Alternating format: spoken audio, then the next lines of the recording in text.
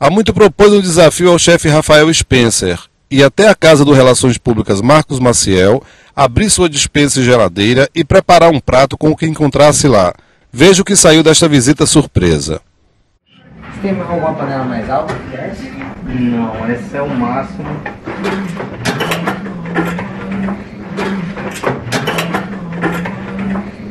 Achou a panela? Vamos com o que temos, né? Mas aqui a gente consegue trabalhar bem. Aqui eu já estou fazendo uns, o que a gente chama de mise en place. Mise en place é a gente fazer o pré-preparo, já deixar tudo montado para na hora que a gente for preparar o prato já ter todos os ingredientes separados e não estar tá naquela correria, naquela no estresse.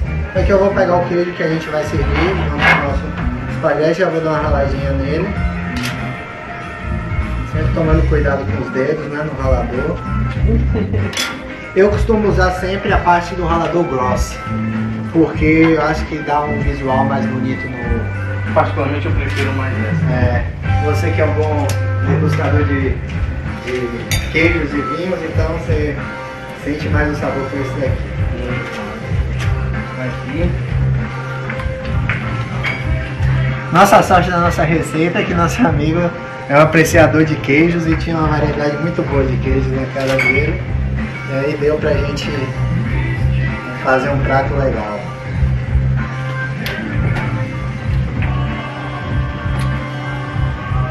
Tínhamos creme de leite, manteiga, é, queijo parmesão e tinha um queijo pecorino que ele gosta de vinho, então tinha um queijo pecorino ali que ele costuma degustar junto com vinho que eu vou saltear só vou só salpicar por cima da massa depois. Não é da receita, mas eu vou colocar no fim.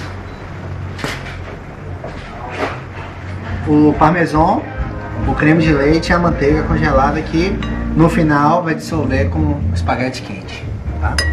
A gente deixa aqui já tá Aí tem as variações, tem gente que gosta de colocar um verdezinho, gosta de colocar Aí vai do... o quê? Um, um coentro, cebolinha? Coentro pra massa geralmente dá uma salsinha. Então colocamos a massa aqui.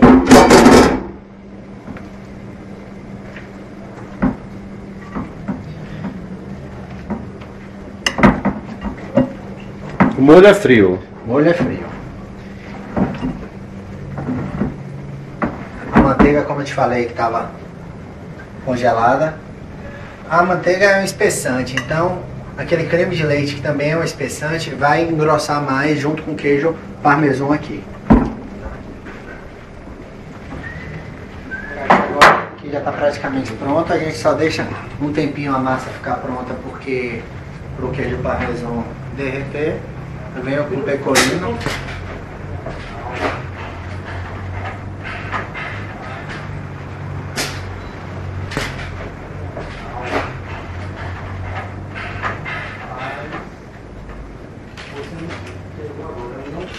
Se achar que tem pouco, a gente pega, dá uma raladinha a mais.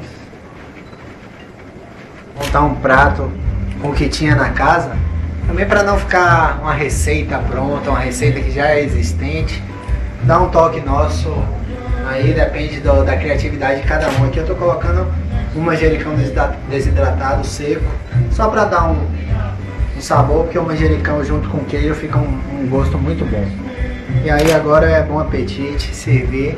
Vou servir meu amigo Marcos ali para ele poder dar nota. Só ajeitar aqui.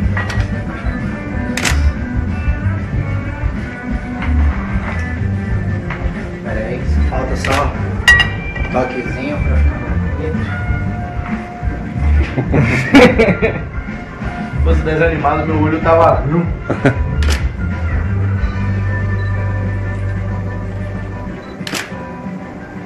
Sabe o que, que eu achei legal? Ah. Assim, o sal, não sei se tá faltando, mas no final você sente bem o gosto do queijo. É. É porque se você coloca aí, sal, você não ressalta o queijo. E aí o e queijo é já, ele rouba a cena. É. Ele é o astro, na verdade, né?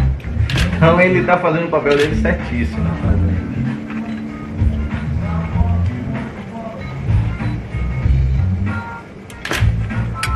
E aí, chefe?